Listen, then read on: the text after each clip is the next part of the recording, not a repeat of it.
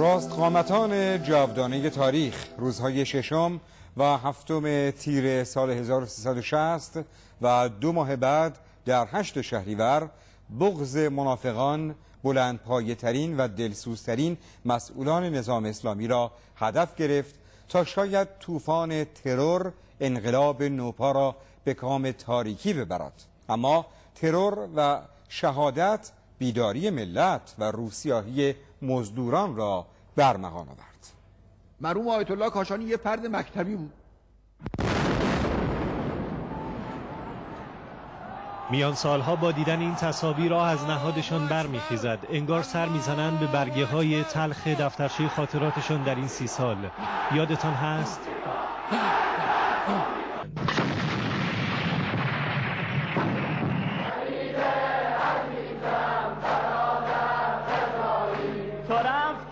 مثلا شش تیر شست 29 سال پیش. من در همه جوامع بشری نه فقط در میان عرب ها مظلوم بود. بمبو در داخل زد کار گذاشته بودن به طرز ماهرانه در دوازده دقیقه گذشته بود که یه مرتب یک انفجاری مسجد رو گرفت.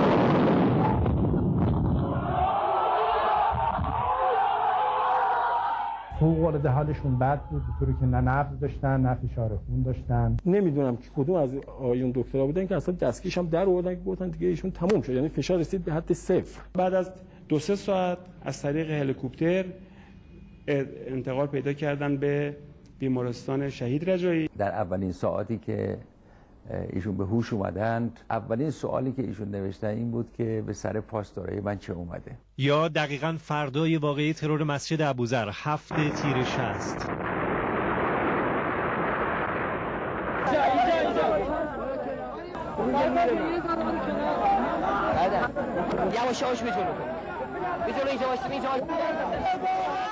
شب گذشته به دست ایادی آمریکا؟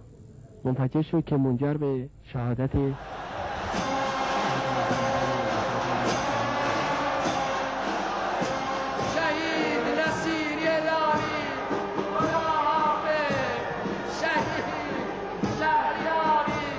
خدا حافظ. این مرد که مظلوم زیستی و مظلوم رفتی. آنچه که من راجع به ایشان متأثر هستم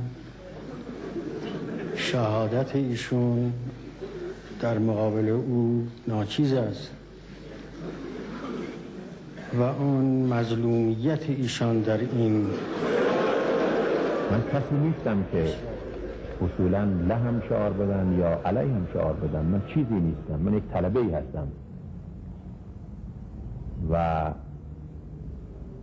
این همه دشمنی با یک طلبه در جامعه اسلامی ما علالقاده باید نشانه این باشه که این طلبه در ادامه قاطع راه اسلام خیلی جدیه. دهه 60 روزگاری است که هر روزش آبستن یک فتنه است. روزگاری است که کلاهینامی با این چهره به ظاهر موجه در نهاد یک نهاد نظام نفوذ می کند و چنین فاجعه را به پشتیبانی منافقین رقم می‌زند روزگاری است که ترور شده دیروز روی تخت بیمارستان خبر ترور 72 یارش را میشنود این حاکی از نهایت عجز دشمنه مسئله اتفاقی نبود که افراد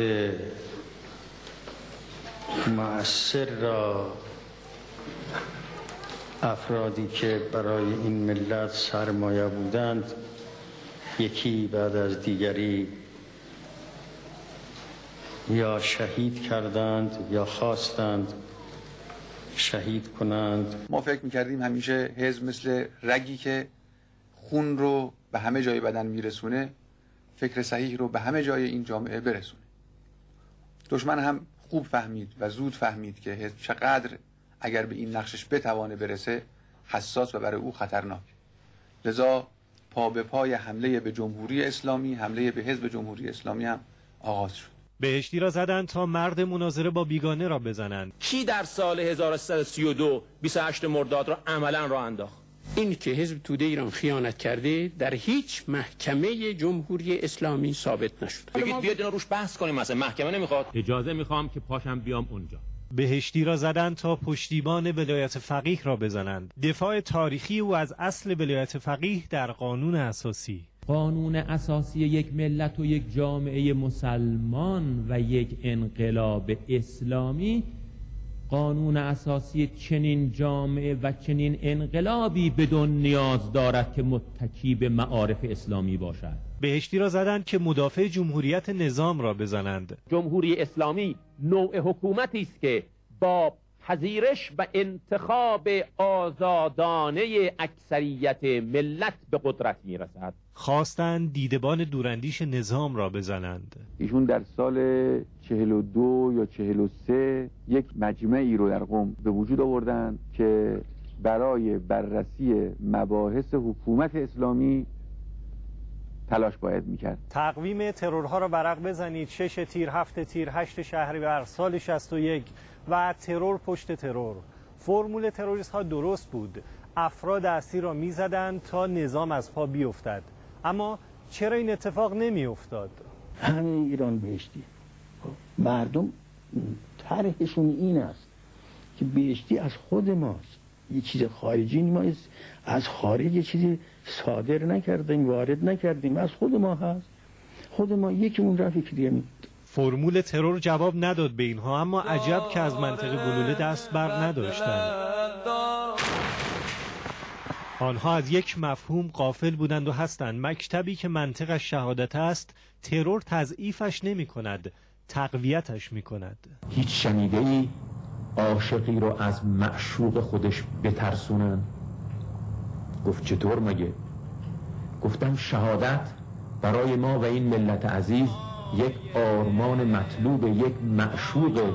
تو داری ملت ما رو ما رو به شهادت و کشته شدن در راه خدا تهدید می‌کنی. رفتن یاران چابک سواران دشمن شکاران آن حق گذاران شد کاروان عشق بر جا ماندم من.